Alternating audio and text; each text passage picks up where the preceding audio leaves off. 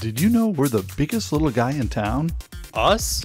Not us specifically, but Integrated Protection Services. So IPS is the biggest little guy in town. Yeah, we're able to handle all of our customers' needs, but small enough to be customer focused on every job. Yeah, big but small. Kind of like jumbo shrimp. How about open secret? And awfully pretty. Or seriously funny? Yes, you are.